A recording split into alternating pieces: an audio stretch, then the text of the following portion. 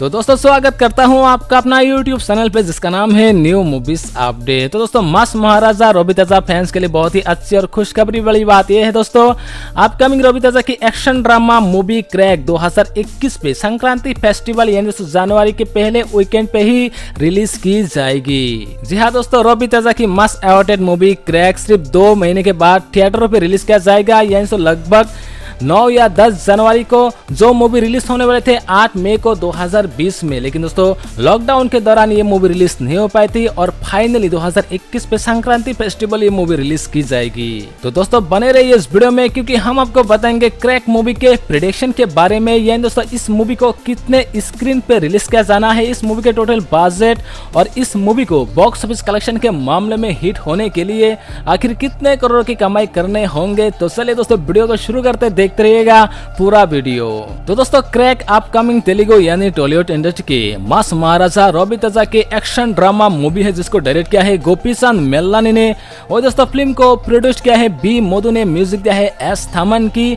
और इस फ़िल्म के जो टोटल रनिंग टाइम है 154 मिनट का है। जी हाँ दोस्तों, इस मूवी के जो टोटल रनिंग लेंथ है, पूरे 150 मिनट का है। स्टार कास्ट पे बात दोहरा जाए तो दोस्तों, रवि तजा मास महाराजा तो है ही। साथ ही साथ दोस्तों, इस मूवी में श्रुति हासन हासन सामुतिक रानी रॉय, बरालक्ष्मी, शरद कुमार जी को इस मूवी के स्टार कास्ट में देखने को मिलेंगे। हालाँकि दोस्तों, और भी बहुत सारे अच्छे अच्छे कलाकार इस मूवी में जुड़े गए हैं।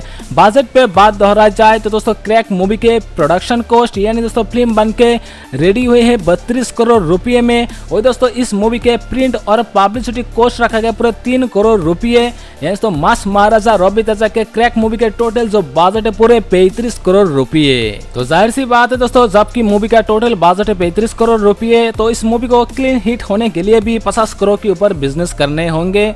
वही अगर बात करें दोस्तों स्क्रीन काउंट की तो संक्रांति फेस्टिवल 2021 पे जब क्रैक मूवी रिलीज़ की जाएगी तो दोस्तों इंडिया में इस फ़िल्म को 2500 स्क्रीन पे रिलीज़ किया जाना है और ओवरसीज मार्केट यानी इंडिया के बाहर इस फ़िल्म को 300 स्क्रीन पे रिलीज़ किया जाएगा। यानी रवि तेजा मास महाराजा के क्रैक मूवी को टोटल वर्ल्ड वाइडली 2800 स्क्रीन पे सिर्फ़ तेलुगु भाषाओं पे रिलीज़ किया जाना है। क्रैक जो कि दोस्तों, इस मूवी में रवि तजा को शायद एज ए कॉप के रोल प्ले करते हुए देखने को मिलेंगे। साथ ही साथ दोस्तों, इस मूवी में भरपूर एक्शन भी देखने को मिलेंगे।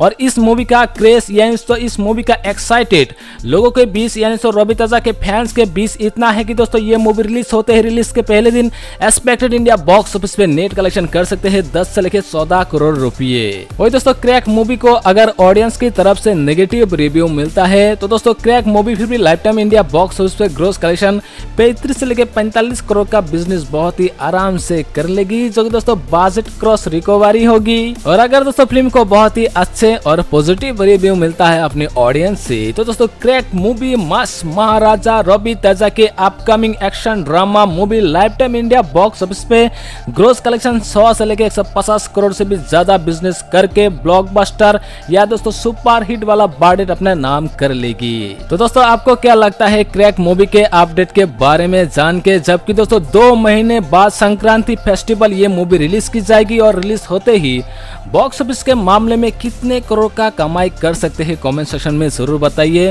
साथ ही साथ दोस्तों, अगर आप रॉबी तेजा मास महाराजा के फ़ैन हैं तो दोस्तों इस वीडियो को लाइक करें और इसी तरह के मूवीज़ अपडेट वीडियो के लिए हमारे चैनल न्यू मूवीज़ अपडेट को सब्सक्राइब भी कर लीजिए। तब तक के लिए मिलता है अगले वीडियो में। Take care bye